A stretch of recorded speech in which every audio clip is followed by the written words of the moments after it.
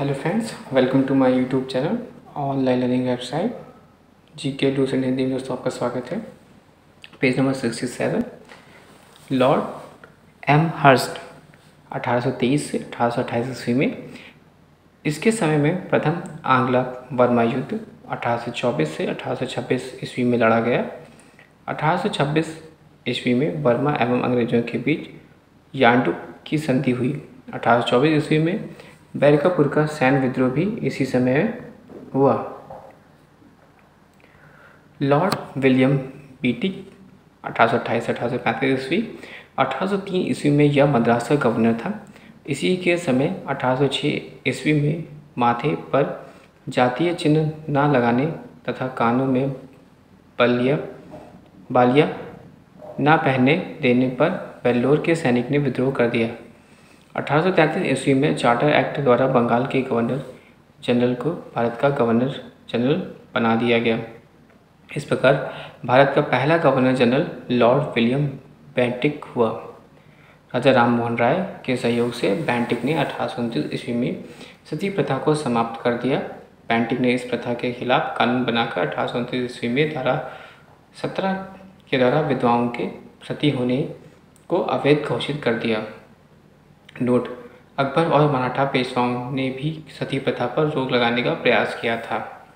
Bentinck ने colonel Sleeman की सहायता से अठारह सौ तीस ईस्वी में ठगी प्रथा को समाप्त कर दिया। सन अठारह सौ पैंतीस ईस्वी में बेंटिंग ने कलकत्ता से कलकत्ता मेडिकल कॉलेज की स्थापना की। इसी के समय मैकाले के अनुशंसा पर अंग्रेज़ी को शिक्षा का माध्यम बनाया गया। मैकाले द्वारा कानून का वर्गीकरण भी किया गया। बेंटिंग ने अठारह सौ ईस्वी में मैसूर तथा अठारह सौ चौंतीस ईस्वी में कुग्र एवं मध्य केचर को हड़प लिया। इसने भारतीय को उत्तरदायी पदों पर नियुक्त किया। इसने शिशु बालिका की हत्या पर भी प्रतिबंध लगा दिया। चार्ल्स मेटकॉफ 1836 से 1835 से अठारह सौ छत्तीस ईस्वी, इसने अपने एक वर्ष के कार्यकाल में प्रेस पर नियंत्रण से हटाया, इसलिए इसे भारतीय प्रेस का मुक्तिदाता भी कहा जाता है। लॉर्ड ऑकलैंड अठारह सौ छत्तीस से अठारह ईस्वी। इसके समय में सबसे महत्वपूर्ण घटना प्रथम आंग्ल अफगान युद्ध अठारह ईस्वी में इसके, इसने कलकत्ता से दिल्ली तक ग्रांड ट्रंक रोड का मरम्मत करवाया। लॉर्ड एलन बोरो अठारह सौ बयालीस से अठारह ईस्वी में प्रथम आंग्ल अफगान युद्ध समाप्त हुआ। सिंध को अगस्त अठारह ईस्वी में पूर्ण रूप से ब्रिटिश साम्राज्य में मिला लिया गया। दास प्रथा का उन्मूलन इसी के समय हुआ, जो कि अठारह में एक्ट फिफ्थ के द्वारा। लॉर्ड हार्टिंग अठारह सौ चालीस से अठारह ईस्वी में इसके काल ही की सबसे महत्वपूर्ण घटना थी प्रथम आंग्ल सिख युद्ध। इसमें अंग्रेज़ी विजय हुए। इसने नरबली प्रथा पर भी प्रतिबंध लगाया। लॉर्ड डलहोजी अठारह से छप्पन ईस्वी द्वितीय आंग्ल सिख युद्ध तथा पंजाब के ब्रिटिश शासन में विलय अठारह ईस्वी में जगत प्रसिद्ध सिख राज्य का प्रसिद्ध हीरा कोहिनूर महारानी विक्टोरिया को भेज दिया गया था। द्वितीय आंग्ल वर्मा युद्ध और सन अठारह में लोअर वर्मा एवं पीगू की अंग्रेज़ी राज्य रूप में मिला लिया गया।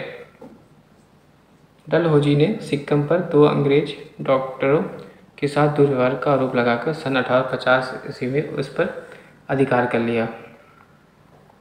अठारह सौ बावन ईस्वी में एक इनाम कमीशन की स्थापना की गई। इसका उद्देश्य भूमिकर रहित जाहगीरों का पता लगाना करके उन्हें छीनना था। डलहौजी का शासनकाल उनके व्यक्तिगत सिद्धांत डॉक्टर ऑफ़ लैब्स के कारण अधिक याद किया जाता है।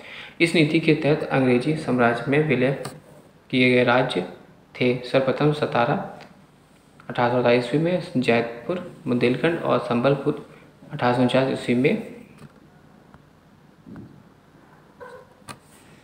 उदयपुर, मध्य प्रदेश, अठारह सौ बावन ईस्वी में, झांसी, अठारह सौ तिरपन ईस्वी में, नागपुर, अठारह सौ चौवन ईस्वी में। सन अठारह सौ छप्पन ईस्वी में अवध को कुशासन का आरोप लगाकर अंग्रेज़ी राज्य में मिला लिया गया। इस समय अवध का नवाब वाजिद अली शाह था। सन अठारह छप्पन ईस्वी में इसने तोपखाने के मुख्यालय को कलकत्ता से मेरठ में स्थानांतरित किया और सेना का मुख्यालय शिमला में स्थापित किया। शिक्षा संबंधी सुधारों में डलहौजी ने सन अठारह सौ छप्पन ईस्वी के वुड डिस्पैच को लागू किया। इसके अनुसार जिलों में एंग्लो वर्निक्यूलर स्कूल प्रमुख नागरों नगरों में सरकारी कॉलेज तथा अठारह सौ सत्तावन ईस्वी में तीनों प्रेसिडेंसियों में कलकत्ता, मद्रास एवं मुंबई को एक एक विश्वविद्यालय स्थापित किए गए और साथ ही प्रत्येक देश में एक शिक्षा निदेशक नियुक्त किया गया। डलहौजी को भारत के में रेलवे का जनक माना जाता है। इसी के समय भारत में पहली बार 16 अप्रैल अठारह सौ तिरपन ईस्वी में बम्बई से थाने के बीच में 34 किलोमीटर प्रथम रेल चलाई गई है। दोस्तों, डलहौजी को भारत में रेलवे का जनक माना जाता है। इसी के समय भारत में पहली बार 16 अप्रैल अठारह सौ तिरपन 16 अप्रैल अठारह सौ तिरपन ईस्वी में बम्बई के थाने के बीच बम्बई से थाने के बीच चौंतीस किलोमीटर प्रथम रेल चलाई गई। सन अठारह सौ चौवन ईस्वी में नया पोस्ट ऑफ़िस एक्ट पारित हुआ और भारत में पहली बार डाक टिकट का प्रचलन प्रारंभ हुआ। इसके पथक के रूप में भारत में पहली बार सार्वजनिक निर्माण विभाग की स्थापना की गई। सन, इसने सन अठारह सौ ईस्वी में एक स्वतंत्र विभाग के रूप में लोक सेवा विभाग की स्थापना की। इसी के समय अठारह सौ तिरपन ईस्वी में कलकत्ता एवं आगरा के बीच पहली बार बिजली से संचालित तार सेवाएँ शुरू हुई। इसने शिमला को ग्रीष्मकालीन राजधानी बनाया। इसी के समय भारतीय नागरिक सेवा हेतु हेतु पहली बार प्रतियोगिताओं, सुरक्षा की प्रतियोगिता, परीक्षा शुरू हुई। डलहौजी ने नर बलि प्रथा को रोकने का भी प्रयास किया। लॉर्ड कर्निंग अठारह सौ छप्पन से बासठ ईस्वी यह भारत में कंपनी द्वारा नियुक्त अंतिम गवर्नर जनरल तथा ब्रिटिश सम्राट के अधीन नियुक्त भारत का प्रथम वायसराय था। इसके समय सबसे महत्वपूर्ण घटना थी सन अठारह सौ सत्तावन में की ऐतिहासिक विद्रोह।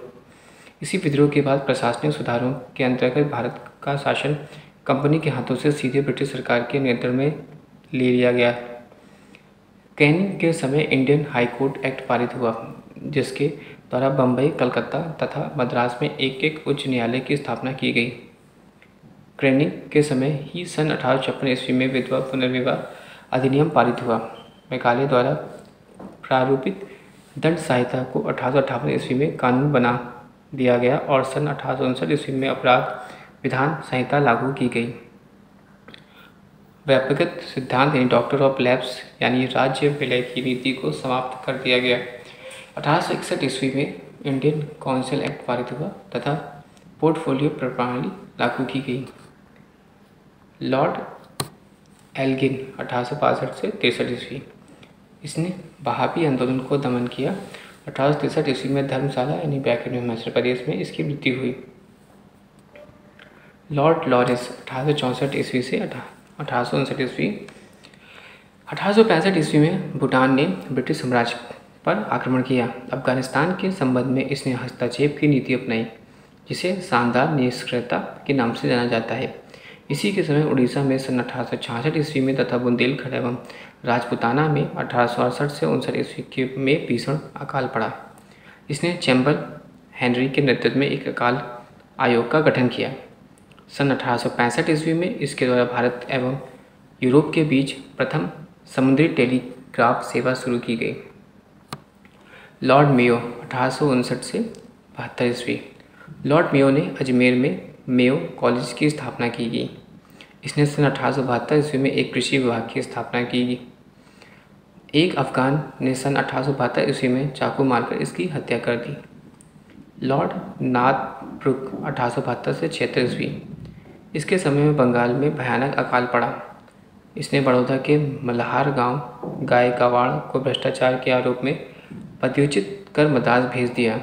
लॉर्ड नार्थब्रक ने घोषणा की कि मेरा उद्देश्य करों को हटाना तथा अनुवांशिक वैधानिक कार्रवाइयों को बंद करना है। पंजाब का प्रसिद्ध कूका आंदोलन भी इसी के समय हुआ। इसी के समय स्वेज नहर खोले जाने से भारत एवं ब्रिटेन के बीच व्यापार में वृद्धि हुई। लॉर्ड लिटन अठारह सौ छिहत्तर से अस्सी ईस्वी यह एक प्रसिद्ध उपन्यासकार, निबंध लेखक एवं साहित्यकार था। साहित्यकाश में इसे आपेश अविन मेरिडथ के नाम से जाना जाता है। इसके समय में बम्बई मद्रास, हैदराबाद, पंजाब, मध्य भारत आदि में भयानक अकाल पड़ा। लिटन ने रिचर्ड स्टेजी की अध्यक्षता में एक अकाल आयोग की स्थापना की। एक जनवरी अठारह सौ सतहत्तर ईस्वी में ब्रिटेन की महारानी विक्टोरिया को कैंसर ए हिंद की उपाधि से सम्मानित करने के लिए दिल्ली दरबार को आयोजन किया गया। मार्च अठारह ईस्वी में लिटन ने भारतीय समाचार पत्र अधिनियम वॉन्यूकुलर एक्स एक्ट पारित कर भारतीय समाचार पत्रों पर कठोर प्रतिबंध लगा दिए। विशेषकर राष्ट्रीयवाद समाचार पत्र एवं सोम प्रकाश को प्रतिबंध करने के लिए। नोट पायनार अखबार ने वॉल्यूकुलर प्रेस एक्ट अठारह सौ अठहत्तर का समर्थन किया। इसी के समय सन अठारह ईस्वी को भारतीय शस्त्र अधिनियम पारित हुआ, जिसके तहत शस्त्र रखने एवं व्यापार करने के लिए लाइसेंस को अनिवार्य बना दिया गया। इसने सिविल सेवा परीक्षाओं में प्रवेश की अधिकतम आयु सीमा 21 वर्ष से घटाकर 19 वर्ष कर दी। लिटिन ने अलीगढ़ में एक मुस्लिमों एंग्लो प्राच्य महाविद्यालय की स्थापना की, लॉर्ड सौ अस्सी से चौरासी ईस्वी। रिपन ने सर्वप्रथम समाचार पत्रों को स्वतंत्रता को बहाल करते हुए सन अठारह सौ बयासी ईस्वी में वॉनिकुलर प्रेस एक्ट को समाप्त कर दिया। इसने सिविल सेवा में प्रवेश की आयु को 19 वर्ष से बढ़ाकर 21 वर्ष कर दिया। इसने स्थानीय स्वशासन की शुरुआत की। इसके समय में ही भारत ने सन अठारह सौ इक्यासी ईस्वी में सर्वप्रथम नियमित जनगणना करवाई गई। तब से लेकर अब तक प्रदेश में 10 वर्ष के अंतराल पर जनगणना की जाती है। नोट। भारत में पहली जनगणना सन अठारह सौ बहत्तर ईस्वी में हुई। रिपन के द्वारा ही अठारह सौ इक्यासी ईस्वी में प्रथम कारखाना अधिनियम लाया गया। रिपन के समय शैक्षिक सुधारों के अंतर्गत विलियम हंटर की अध्यक्षता में एक आयोग गठित किया गया। इसके समय में यूरोपियों के विरुद्ध भारतीय न्यायाधीशों द्वारा मुकदमे की सुनवाई के लिए एल्बर्ट विधेयक प्रस्तुत किया गया। लेकिन यूरोपवासियों के प्रबल विरोध के कारण इसे वापस लेना पड़ा। अंग्रेज़ों द्वारा इस विधेयक के विरोध के लिए विद्रोह को श्वेत विद्रोह के नाम से जाना जाता है। फ्लोरेंस नाई टिंगटल ने रिपन को भारत के उदारक की संज्ञा दी। लॉर्ड डर्फिन, अठारह से अठासी ईस्वी। इसके समय तृतीय आंगल वर्मा युद्ध, अठारह से अठासी ईस्वी, हुआ और वर्मा के अंतिम रूप में अंग्रेज़ी राज्य में मिला लिया गया। इसी के समय Bengal tenancy act, Awadh tenancy act तथा पंजाब टेंसी एक्ट पारित हुआ। इसके समय की सबसे महत्वपूर्ण घटना थी 28 दिसंबर अठारह ईस्वी में को मुंबई ए ओ हामियों का नेतृत्व में भारतीय राष्ट्रीय कांग्रेस की स्थापना। भारतीय राष्ट्रीय कांग्रेस की स्थापना 28 दिसंबर अठारह ईस्वी में बॉम्बे में ए ओ के नेतृत्व में। लॉर्ड लेंसडाउन अठारह सौ अट्ठासी चौरानवे ईस्वी, भारत और अफ़गानिस्तान के मध्य सीमा रेखा डूरेंड रेखा का निर्धारण इसी के समय हुआ। अठारह सौ इक्यानवे ईस्वी में दूसरा कारखाना अधिनियम लाया गया, जिसमें स्त्रियों को 11 घंटे प्रतिदिन से अधिक काम करने पर प्रतिबंध लगाया गया। साथ ही सप्ताह में एक दिन की छुट्टी की व्यवस्था की गई। लॉर्ड एल्गिन द्वितीय, अठारह सौ चौरानवे से निन्यानवे ईस्वी, भारत को तलवार के बल पर विजित किया गया और तलवार के बल पर ही इसकी रक्षा की जाएगी। यह कथन लॉर्ड एल्गिन द्वितीय का है। अठारह से अठारह ईस्वी के मध्य उत्तर प्रदेश, बिहार, पंजाब एवं मध्य प्रदेश में भयंकर अकाल पड़ा। लॉर्ड कर्जन अठारह सौ निन्यानवे से ज़ीरो पाँच ईस्वी। कर्जन ने सन 1901 ईस्वी में सर कॉलिन स्कॉट मॉनक्रीव की अध्यक्षता में एक सिंचाई आयोग 1902 ईस्वी में सर एड्रूड फेजर की अध्यक्षता में एक पुलिस आयोग एवं सर टाइम्स रैली की अध्यक्षता में विश्वविद्यालय आयोग की स्थापना की। 1904 में भारतीय विश्वविद्यालय अधिनियम पास किया गया। इसने सर एंटनी मैकडोनल्ड की अध्यक्षता में एक अकाल आयोग का गठन किया गया। इसने सैन्य अधिकारों के प्रशिक्षण के लिए क्वेटा में एक कॉलेज की स्थापना की। प्राचीन स्मारक परीक्षण अधिनियम उन्नीस ईस्वी के द्वारा कर्जन ने भारत में पहली बार ऐतिहासिक इमारतों की सुरक्षा एवं मरम्मत को पर ध्यान दिया। इस कार्य के लिए कर्जन ने भारतीय पुरातत्व विभाग की स्थापना की। इसी के कार्यकाल के दौरान कलकत्ता में विक्टोरिया मेमोरियल हॉल का निर्माण हुआ। कर्जन के भारत में विरोधी कार्यों में सर्वाधिक महत्वपूर्ण कार्य था 1905 में बंगाल का विभाजन। लॉर्ड मिंटो द्वितीय 1905 से 1910 इसके समय में आगा खां एवं सलीम उल्ला खां के द्वारा ढाका में 1906 ईस्वी में मुस्लिम लीग की स्थापना की गई। 1907 ईस्वी के कांग्रेस के सूरत अधिवेशन में कांग्रेस का विभाजन हो गया।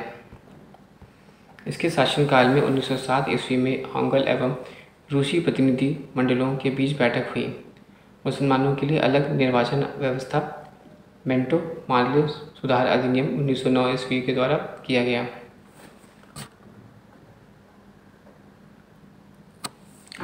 लॉर्ड हॉर्डिंग द्वितीय उन्नीस सौ दस, उन्नीस सौ पंद्रह। इसके समय ब्रिटेन के राजा जॉर्ज पंचम भारत आए और 12 दिसंबर 1911 में ईस्वी में दिल्ली में एक भव्य दरबार का आयोजन हुआ। यहाँ पर बंगाल विभाजन को रद्द करने की घोषणा की गई एवं भारत की राजधानी कलकत्ता से दिल्ली स्थानांतरित करने की घोषणा की गई। 1912 ईस्वी में दिल्ली भारत की राजधानी बनी। 23 दिसंबर 1912 को लॉर्ड हॉर्डिंग पर दिल्ली में बम फेंका गया। इसी के समय 28 जुलाई 1914 ईस्वी को प्रथम विश्व युद्ध प्रारंभ हुआ। इसी के शासनकाल में फिरोजा शाह मेहता ने बॉम्बे क्रॉनिकल एवं गणेश शंकर विद्यार्थी ने प्रताप का प्रकाशन किया। 1916 ईस्वी में लॉर्ड हॉर्डिंग ने बनारस हिंदू विश्वविद्यालय के कुलपति नियुक्त किया गया। लॉर्ड जेम्स फोर्ड 1916 से 21 कांग्रेस के लखनऊ अधिवेशन 1916 में कांग्रेस का एकीकरण हुआ। एवं मुस्लिम लीग के साथ समझौता हुआ। 1916 में पूना में महिला विश्वविद्यालय की स्थापना हुई। इसके काल में 1917 ईस्वी में शिक्षा पर सिलेंडर आयोग का गठन किया गया। इसी के काल में 1919 ईस्वी में रोलेट एक्ट पारित हुआ। इसी के काल में 13 अप्रैल उन्नीस ईस्वी में जलियावाला बाग अमृतसर हत्याकांड हुआ। खिलाफत आंदोलन एवं गांधी जी का असहयोग आंदोलन इसी के समय प्रारंभ हुआ। तृतीय अफगान युद्ध इसी के समय हुआ। लॉर्ड रीडिंग उन्नीस सौ इक्कीस से छब्बीस ईस्वी, पाँच फरवरी उन्नीस सौ बाईस ईस्वी को घटी चौरी चौरी कांड उत्तर प्रदेश के गोरखपुर ज़िले में, के बाद महात्मा गांधी ने अपने असहयोग आंदोलन वापस ले लिया। 1930 ईस्वी में चितरंजन दास एवं मोतीलाल नेहरू ने इलाहाबाद में कांग्रेस के अंतर्गत स्वराज पार्टी की स्थापना की। 1930 के चुनाव में इस दल को मध्य प्रांत एवं बंगाल में पूर्ण बहुमत मिला। इसके काल में ही प्रिंस ऑफ़ वेल्स के ने नवंबर 1921 ईस्वी में भारत की यात्रा की। इसी दिन पूरे भारत में हड़ताल का आयोजन किया गया। 1921 ईस्वी में मोपाला विद्रोह हुआ। 1922 ईस्वी में विश्व भारती विश्वविद्यालय ने कार्य करना प्रारंभ किया। 1921 ईस्वी में एम एन. राय द्वारा भारतीय कम्युनिस्ट पार्टी का गठन किया 1925 ईस्वी में प्रसिद्ध आर्य समाजी राष्ट्रीयवादी नेता स्वामी श्रद्धानंद की हत्या कर दी गई। लॉर्ड एराबिन 1926 से इकतीस ईस्वी। तीन फरवरी 1928 ईस्वी में साइमन कमीशन बम्बई पहुँचा। 12 मार्च 1930 ईस्वी में गांधी जी के द्वारा सविनय अवज्ञा आंदोलन प्रारंभ किया गया। लाला लाजपत राय की मृत्यु के बदले भारतीय चरमपंथियों द्वारा दिल्ली के असलेबली हॉल में उन्नीस सौ ईस्वी में बम फेंका गया। इसी के समय लाहौर जेल में जतिन दास तेरह जुलाई, ने तेरह जुलाई उन्नीस सौ उनतीस को भूख हड़ताल शुरू की और भूख हड़ताल के तिरसठवें दिन तेरह सितंबर उन्नीस सौ उनतीस को उसकी मृत्यु हो गई। भूख हड़ताल के कारण भारतीय एवं अंग्रेज़ों के दोनों के बीच व्यवहार में किया जाने वाला भेदभाव था। उन्नीस सौ उनतीस ईस्वी में कांग्रेस के लाहौर अधिवेशन में पूर्ण स्वराज की का लक्ष्य निर्धारित किया गया और 26 जनवरी 1930 को स्वतंत्रता दिवस मनाने की घोषणा की गई। बारह नवंबर 1930 में लंदन के प्रथम गोल मेज सम्मेलन हुआ। इस सम्मेलन में कांग्रेस में ने भाग नहीं लिया। पाँच मार्च उन्नीस सौ इकतीस ईस्वी को गांधी एयरवेन समझौते पर हस्ताक्षर किया गया और साथ ही सबने अवज्ञा आंदोलन को भी स्थगित किया गया। लॉर्ड वेलिंगटन उन्नीस से छत्तीस ईस्वी इसके समय में लंदन में सात सितंबर से एक दिसंबर उन्नीस सौ इकतीस तक भारतीय गोल मेज सम्मेलन का आयोजन हुआ। इस सम्मेलन में कांग्रेस ने भी भाग लिया। कांग्रेस के प्रतिनिधित्व महात्मा गांधी ने किया और दूसरे गोलमेज सम्मेलन की असफलता के बाद महात्मा गांधी ने तीन जनवरी उन्नीस सौ बत्तीस ईस्वी को दोबारा सविनय अवज्ञा आंदोलन प्रारंभ किया। 16 अगस्त 1932 को रेमजे मैकटाइन लाइट ने विवादास्पद सांप्रदायिक पंचाट की घोषणा की। इसके अनुसार दलितों को हिंदुओं से अलग मानकर उन्हें अलग प्रतिनिधित्व देने को कहा गया और दलित वर्गों के लिए अलग निर्वाचन मंडल का प्रबंधन किया गया। इससे गांधी जी बहुत दुखी हो गए और उन्होंने इसे हटाने के लिए आमरण उपवास आरंभ कर दिया। अंत में एक समझौता हुआ, जिसे प्राय पुनः समझौता कहते हैं, किया गया और जिसमें दलित वर्गों के लिए साधारण वर्गों में ही सीटों का आरक्षण किया गया। पूना समझौता चौबीस सितंबर उन्नीस सौ बत्तीस का हुआ। सत्रह नवंबर उन्नीस, चौबीस दिसंबर उन्नीस ईस्वी तक लंदन में तृतीय गोलमेज सम्मेलन का आयोजन हुआ। कांग्रेस ने भी इसमें भाग नहीं लिया। बिहार में उन्नीस सौ चौंतीस ईस्वी में भयंकर भूकंप आया। भारत सरकार अधिनियम उन्नीस सौ पैंतीस में पास किया गया। लॉर्ड वेलिंगटन ने कांग्रेस के बम्बई अधिवेशन 1915 ईस्वी में हिस्सा लिया था। इस अधिवेशन की अध्यक्षता पर सर सत्येंद्र प्रसन्न सिन्हा ने की थी। लॉर्ड लिन यूडोगी ने उन्नीस सौ सोलह सौ तिरालीस ईस्वी। लॉर्ड लिन लिथोगो इसके समय में पहली बार चुनाव कराए गए। कांग्रेस ने ग्यारह में से सात प्रांतों में अपनी सरकार बनाई। एक सितंबर उन्नीस सौ उनतालीस ईस्वी को द्वितीय विश्व युद्ध आरंभ हुआ। ब्रिटिश सरकार ने बिना भारतीयों से पूछे भारत को भी युद्ध में झोंक दिया। कांग्रेस ने इसका विरोध करते हुए नारा दिया, ना कोई भाई, ना कोई पाई। और इसने अपने सांसद प्रशांत प्रांतों में से सभी मंत्रिमंडलों को त्यागपत्र दे दिया। एक मई उन्नीस सौ उनतालीस ईस्वी को सुभाष चंद्र बोस ने फॉरवर्ड ब्लॉक नाम की एक नई पार्टी बनाई। उन्नीस सौ चालीस ईस्वी में इस लीग के लाहौर अधिवेशन में पहली बार पाकिस्तान की मांग की गई। आठ अगस्त उन्नीस सौ चालीस ईस्वी को अगस्त प्रस्ताव अंग्रेज़ों के द्वारा लाया गया और उन्नीस सौ बयालीस ईस्वी में क्रिप्स मिशन भारत आया। नौ अगस्त उन्नीस सौ बयालीस ईस्वी में कांग्रेस ने भारत छोड़ो आंदोलन प्रारंभ किया। उन्नीस सौ तिरालीस ईस्वी में बंगाल में एक भयानक अकाल पड़ा। लॉर्ड बेबल उन्नीस सौ चौवालीस ईस्वी से सैंतालीस ईस्वी। शिमला समझौता 1945 ईस्वी में हुआ। कैबिनेट मिशन 1946 ईस्वी में भारत आया। इस मिशन के सदस्य थे Stafford Cripps, Pethick Lawrence F A B Alexander. 20 फरवरी उन्नीस सौ सैंतालीस में प्रधानमंत्री Lord Clement Attlee Labour party ने हाउस ऑफ़ कॉमन्स की यह घोषणा की कि जून 1948 ईस्वी में एक प्रभुसत्ता भारतीयों को हाथ में देंगे। लॉर्ड माउंटेन, माउंट ब्रिटेन मार्च उन्नीस सौ सैंतालीस से जून उन्नीस ईस्वी। चार जुलाई उन्नीस सौ सैंतालीस को ब्रिटिश संसद में इटली द्वारा भारतीय स्वतंत्रता विधेयक प्रस्तुत किया गया, इस, जिसे 18 जुलाई को स्वीकृति मिली। विधेयक के अनुसार भारत और पाकिस्तान को दो स्वतंत्र राष्ट्रों को घोषणा की गई। 15 अगस्त उन्नीस सौ सैंतालीस को भारत स्वतंत्र हुआ। स्वतंत्र भारत का प्रथम गवर्नर लॉर्ड माउंट ब्रिटेन हुआ। नोट, स्वतंत्र भारत के प्रथम एवं अंतिम भारतीय गवर्नर जनरल चक्रवर्ती राजगोपालाचार्य हुए।